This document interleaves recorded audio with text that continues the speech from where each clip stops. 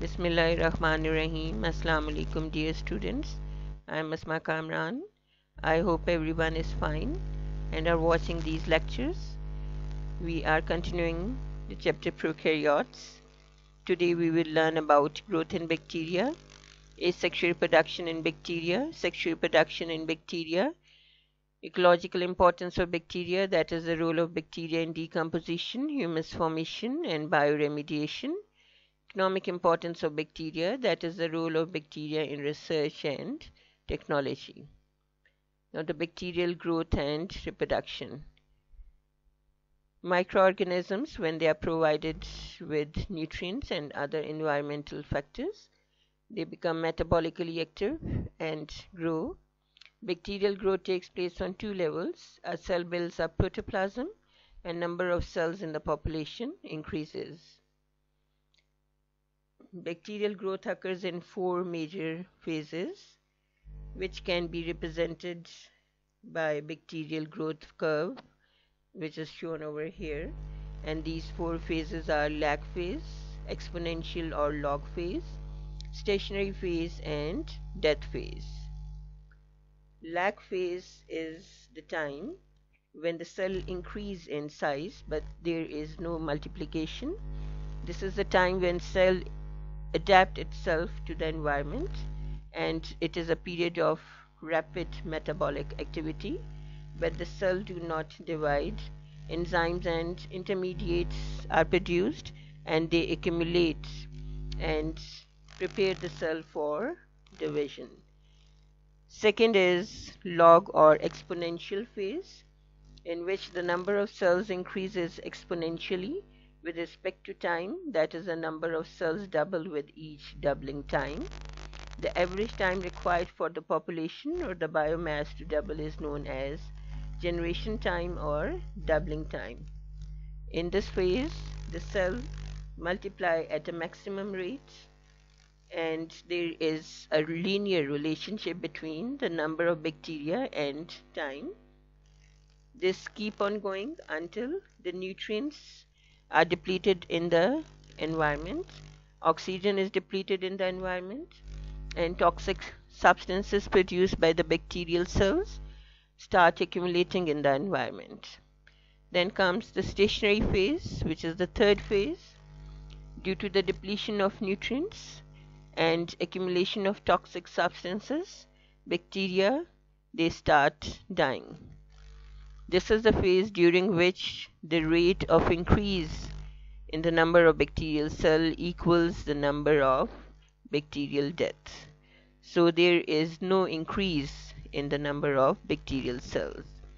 Fourth one is a death or decline phase. In this phase there is a death in the bacterial cell and the rate of cell division gradually decreased and eventually the cells stop multiplying. But some of the bacteria survive this phase by forming spores or cysts. This is another figure that shows the growth curve. You see in the lag phase there is no increase in the number of bacterial cells. Then in the exponential or log phase the number doubles with time then comes the stationary phase where some of the cells start dying and some of the cells are multiplying. So the rate of increase in the number of bacterial cell is equal to the rate of bacterial death. Then in the death phase, most of the bacteria die. Only some survive by spore formation and cyst formation. Bacteria is defined as an increase in the number of bacterial cells within a population. Growth trends within a bacterial population can be illustrated using a bacterial growth curve, such as this one. Growth occurs in four phases lag, log, stationary, and death. Let's look at each phase of the curve to see what's happening. When dormant bacteria are transferred to a fresh medium with plenty of nutrients, they spend some time switching their metabolic machinery from the dormant state to an actively growing state. During the lag phase, the number of new bacterial cells is equivalent to the number of dying cells, resulting in a horizontal plot on the growth curve. The lag phase can last from less than an hour to days, depending on the species of bacteria. During the log phase or exponential growth phase, the bacteria are actively undergoing binary fission. During the log phase, the bacteria double their numbers every generation period. The generation period can range from 20 minutes to days, depending on the species. As long as there are plenty of nutrients and little waste buildup, the bacteria will continue to grow exponentially. It's convenient to represent the growth of the bacteria on a logarithmic graph because the numbers of bacteria increase very rapidly with each subsequent generation. When the log of the number of cells is plotted versus the generation, the graph is linear. After the bacteria have grown for a while and they're starting to deplete the nutrients in the growth medium, some of the cells begin to die. The stationary phase is reached when the number of new cells equals the number of cells that are dying. After the bacteria have depleted most of their nutrients and their waste buildup is getting too great, the bacteria begin to die in larger numbers than are made. If the death phase is carried on for a long time, most of the cells will die. If a cell is to survive, it must switch its metabolism back to a dormant state because there are not enough nutrients available for any more growth. Now the reproduction in bacteria. Bacteria mostly reproduce by asexual method. True sexual reproduction is absent, but there are various methods of genetic recombination in bacteria. So that various methods of genetic recombination are called sexual reproduction and asexual reproduction which is the common method of reproduction is of two types binary fission and budding. Now the first one is binary fission. Binary fission is the type of asexual reproduction in which identical copies of the bacterial cells are produced. And it is the most common form of reproduction in bacteria. In binary reproduction, the DNA replicates and the two copies of DNA get attached to the cell membrane and the bacterial cell elongates or enlarges in size and the septum is formed in the center. This septum gradually deepens and divides the parent cell into two daughter cells. The daughter cells soon grow, become mature within 20 minutes and divide again. So this process keep on going and increase the number of bacterial cells.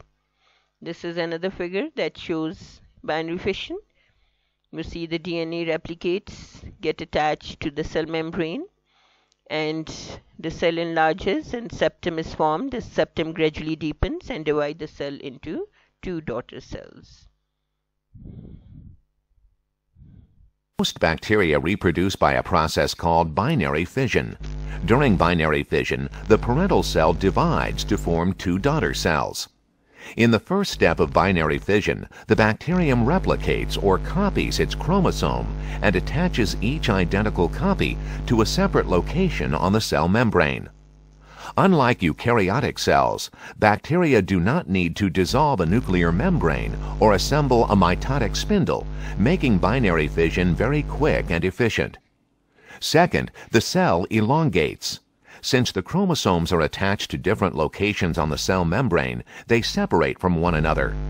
Third, the bacterium pinches off at the center and forms a septum, a separating wall between the two compartments of the cell. Finally, the cell splits into two new daughter cells.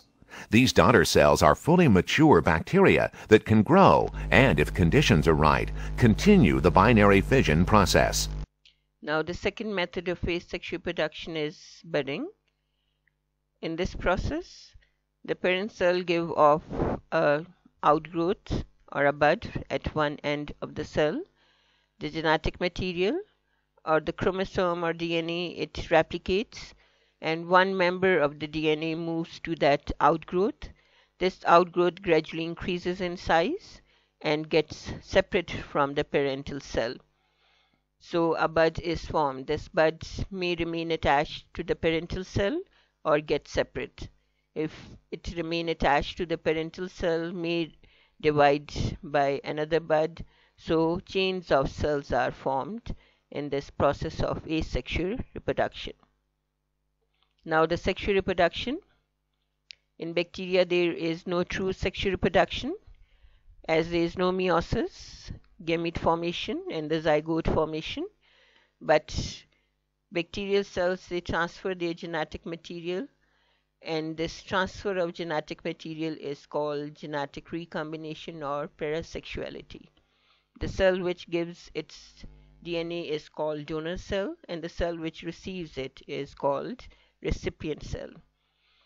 Sexual parasexuality or genetic recombination occurs in three ways in bacteria. Number one, conjugation. Number two, transduction. Number three, transformation. Now the first one is conjugation. During conjugation, two bacterial cells that belong to the same species or to the closely related species come together and are connected to each other by sex pili. Through this pili, a cytoplasmic bridge is formed and usually the donor cell is the cell with the plasmid so that one strand of the plasmid it gets separate and moves through that cytoplasmic bridge to the recipient cell. Recipient cell after receiving that half of DNA it replicates in both donor and recipient cells so makes a plasmid in both the donor and recipient cell. So both, both donor and recipient cells they exchange their genetic material. So this is a type of sexual reproduction. Bacterial conjugation is a process of genetic transfer between bacterial cells that requires direct contact between the cells. Many, but not all, species of bacteria can conjugate. Conjugation can occur between cells of the same species or even between cells of two different species. A small DNA circle or plasmid called the F factor is required for conjugation. The F factor stands for fertility factor. Strains of bacteria containing the F factor are called F+. Those without it are called F-. An F plus cell, or donor, produces a structure called a pilus to connect with another recipient cell.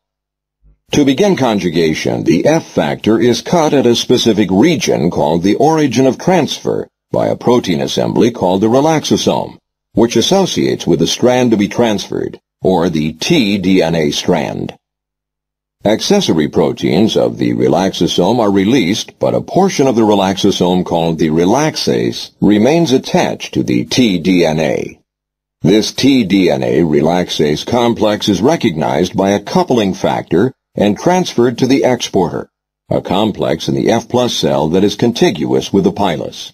The exporter pumps the tDNA relaxase complex into the recipient cell. Once the entire tDNA molecule is transferred to the recipient cell, relaxase joins the ends to make a circular DNA molecule. As the tDNA is transferred to the recipient cell, it is replicated to become double-stranded. In the donor cell, the F-factor DNA was also replicated to become double-stranded. This actually occurred as the tDNA was being transferred to the recipient cell. In the end, both cells wind up with a complete double-stranded copy of the F-factor. Their connection through the pilus is released, and each is now an F-plus cell that can go on to conjugate with other cells. The second method of genetic recombination or sexual reproduction in bacterial cell is transduction. Transduction is the transfer of genetic material from one bacterium to another bacterium through a third party. That is usually a bacteriophage is called transduction. It occurs when a bacteriophage get attached to the bacterial cell and introduces its nuclear material inside the bacterial cell. And then viral DNA it takes hold of the bacterial cell and bacterial chromosome is broken down and viral DNA replicates synthesizes its protein and then assembly of the viral particles takes place in the cell. During this replication some of the viruses may get bacterial DNA or the fragments of bacterial DNA so that when the viral particles are produced, some of the viral particles may have a bacterial DNA. So in this way, and when this viruses which have bacterial DNA, they infect new bacterial cell and introduces their DNA into the cell. This bacterial DNA may incorporate with the DNA of the this new bacterial cell and in this way a genetic recombination occurs which is called transduction. Generalized transduction, a segment of DNA is carried from one bacterial cell to another by a bacterial virus called a bacteriophage or phage. The phage attaches to the bacterial cell and injects its nucleic acid into the host cell.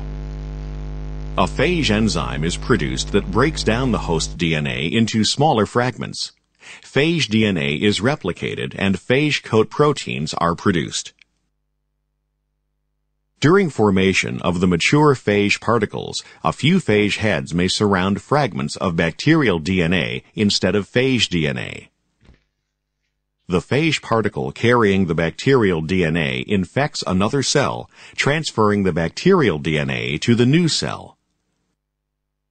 When the bacterial DNA is introduced into the new host cell, it can become integrated into the bacterial chromosome, thereby transferring genes to the recipient.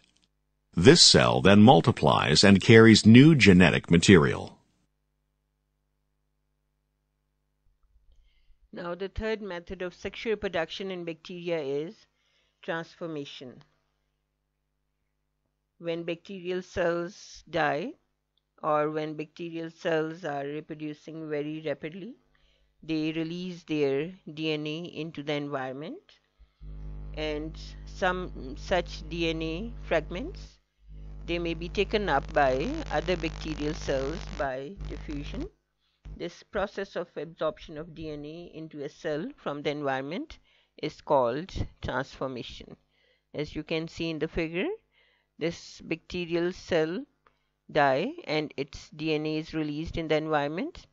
This DNA is taken up by another bacterial cell and inside the bacterial cell it integrates or becomes the part of this new bacterial cell. So when this bacterial cell replicate each and every daughter cell have a copy of that donor cell.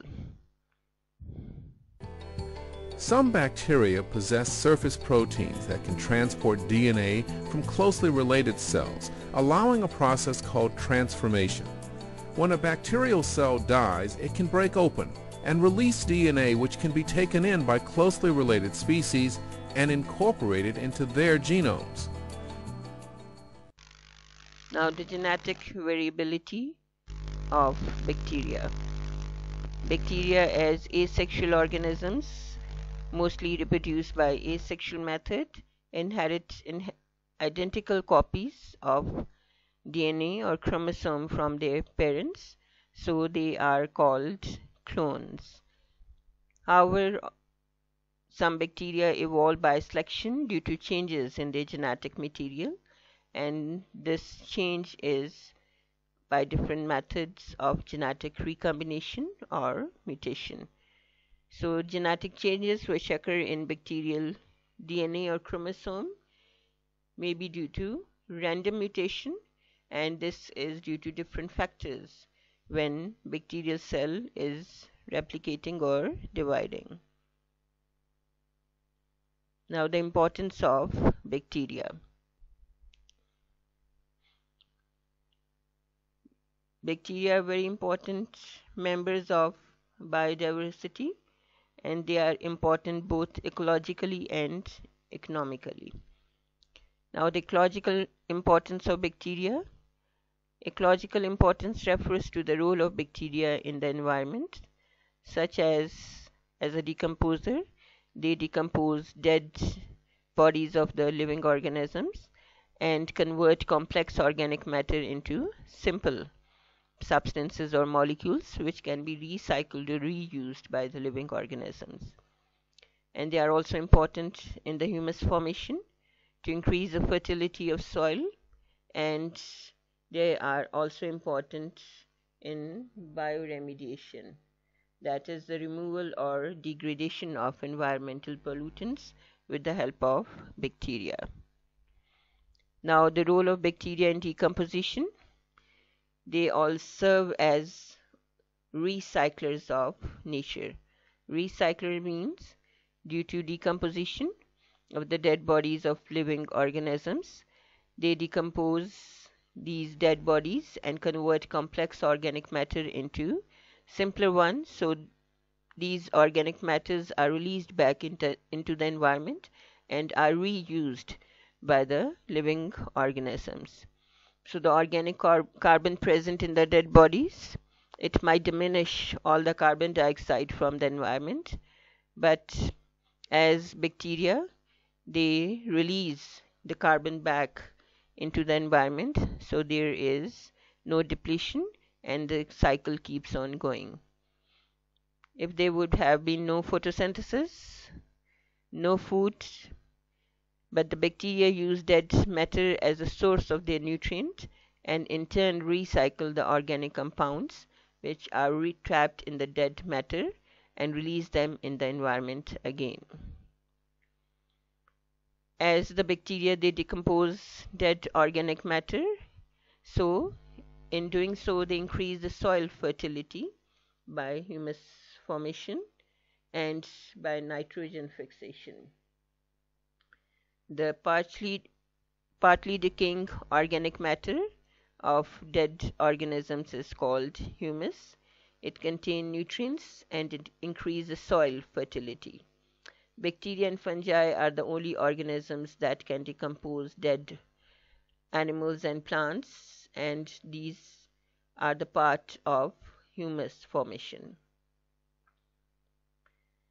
Nitrogen is the most important element for plants as nitrogen is used for the protein formation and is required for growth and metabolic activities. Soil is the only source of nitrogen for plants as they cannot inhale atmospheric nitrogen and plants and animals are dependent on plants for their nitrogen. So nitrogen is available to the plants through a process that is called nitrogen fixation there are some nitrogen fixing bacteria like rhizobium and cyanobacteria live in the root nodules of leguminous plants. This association is called mutualism and these bacteria they get carbon from the plant and re in return fix atmospheric nitrogen for the plant. So this atmospheric nitrogen is then converted into ammonia then into nitrites and nitrates as a part of the metabolism of the bacteria. And then these nitrates are used by the plants. And plants then build up their proteins from these nitrates. And the nitrogen in the plant is then used up by animals when animals eat plants. This is a figure that shows the relationship between the bacteria and the plant you see this is a legume or a leguminous plant that is a pea plant. And in the root there are nodules. These are called root nodules. These nodules contain nitrogen fixing bacteria. These bacteria fix nitrogen atmospheric nitrogen for the plant convert it into nitrites and nitrate which is then used up by the plants and in turn they get food from the plant. So this is a mutual relationship between the bacteria and the plant. And this nitrogen fixation is a part of nitrogen cycle. Now the role of bacteria in removal or degradation of environmental pollu pollu pollution which is also called bioremediation removal or degradation of environmental pollutants with the help of living organisms is called bioremediation. bacteria naturally love to eat pollutants or have been genetically altered or genetically changed to remove toxin from the environment. Scientists they are designing microbes or microorganisms to remove contaminants like oil, radioactive waste, gasoline or gas and mercury. Bioremediation is a method of using living things to remove pollution made by humans. One method of bioremediation is in situ. The other method is ex situ and it is done in factories. These are four types of contaminations that occur in water. First example of water contamination is agricultural contamination.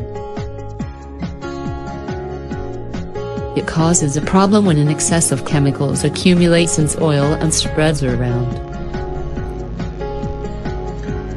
Secondly, municipal contamination can be resolved by bioremediation.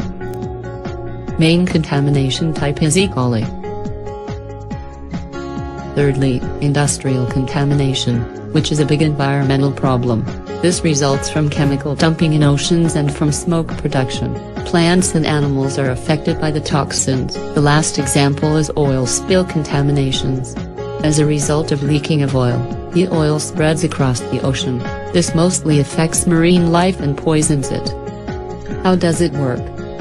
This is the general term for the bioremediation process. Addition of microorganisms with the contaminants creates carbon dioxide. Many physical and chemical conditions are required for the microbes to work well and with efficiency.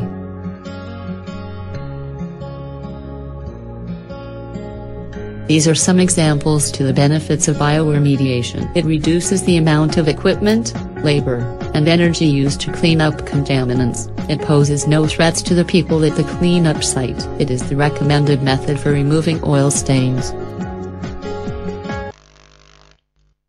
Now this is the figure that shows the removal of industrial waste from the water. This is another figure that shows the removal or biodegradation of pollutants due to oil. Now the economic importance of bacteria. Economic importance refers, refers to the role of bacteria in research and technology, in plant diseases and animal diseases caused by bacteria. Now the role of bacteria in research and technology. Bacteria play an important role in technology, mainly in biological research, mining, medicine, or the production of medicine, production of food products, plastic synthesis, or biodegradable plastic, sewage treatment. Now the first is biological research. Bacteria have been used and being continuously used in the study of genetics, and in genetic engineering. Bacteria were used as model organisms in many different experiments in the past, such as discovery of DNA as a hereditary material and the discovery of semi-conservative replication of DNA, etc. And many components of bacterial cell are also being used as tools in genetic engineering experiments. Now the mining.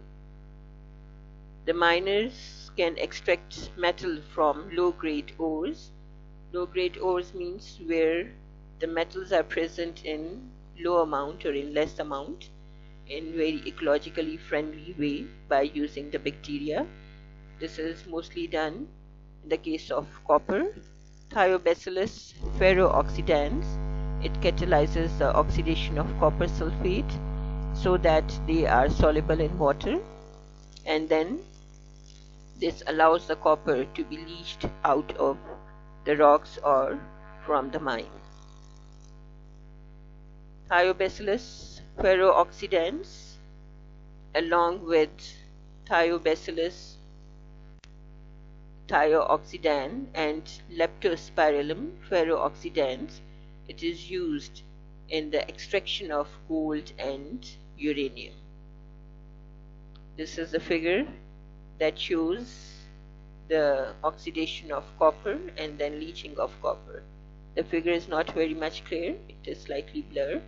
But you can understand from this figure that bacteria oxidizes the copper and copper becomes soluble in water and then it's leached out of the mine and then it is collected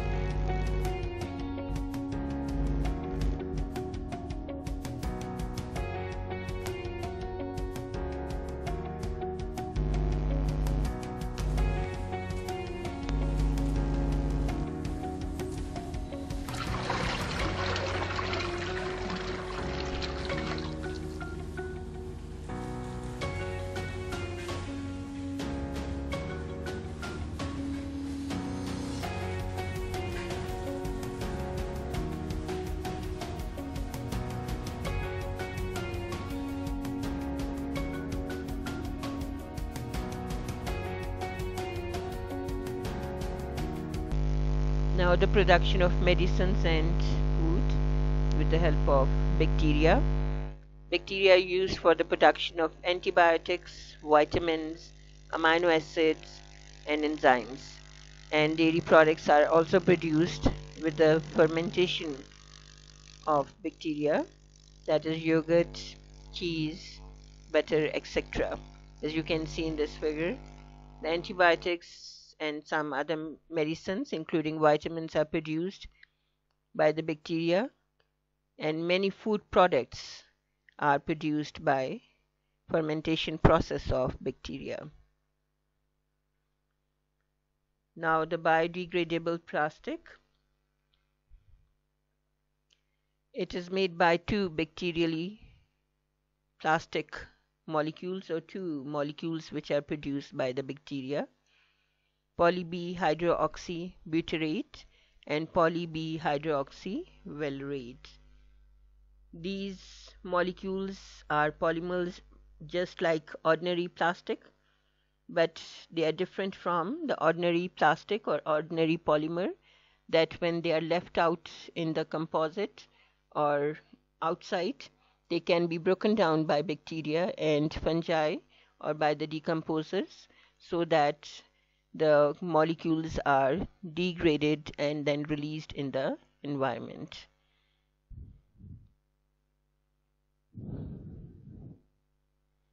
And due to the characteristic uh, or degrading ability of the bacteria that they can degrade harmful chemicals and pollutants, bacteria are naturally used in the purification or in the treatment of wastewater and this is a picture that shows the treatment or wastewater treatment plant.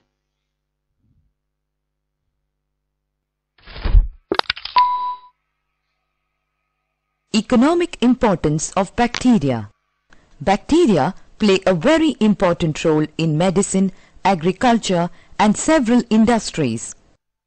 In medicine, antibiotics, Antibiotics such as streptomycin, aureomycin, chloromycetin, etc. are obtained from bacteria. Vaccines Bacteria are used in the preparation of serum and vaccines. In agriculture, decay of organic substances. Bacteria act on dead bodies of plants and animals and convert complex organic compounds into simple inorganic substances. Nitrification The proteins present in the dead bodies of plants and animals is converted into ammonia by ammonifying bacteria. This process is known as ammonification. Ammonia is converted into nitrites by bacteria of the Nitrosomonas group. The nitrites are finally converted into nitrates by bacteria of the Nitrobacter group.